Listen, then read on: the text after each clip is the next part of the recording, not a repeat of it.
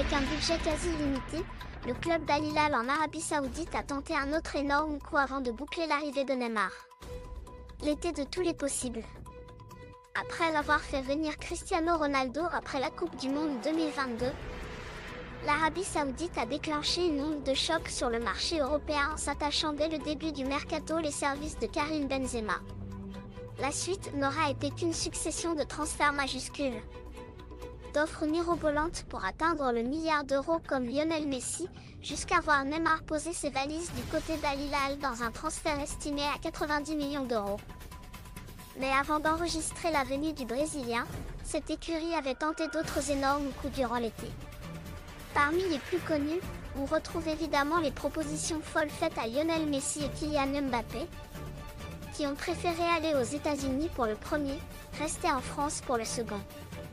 Mais aujourd'hui, le média allemand Bild nous apprend que les dirigeants d'Al Hilal ont tenté une autre star du vieux continent.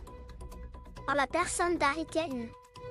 En effet, l'international anglais, sur le départ de Tottenham cet été, a reçu une proposition de salaire d'environ 100 millions d'euros par saison sur deux ou trois ans. Le montant du transfert n'est pas évoqué.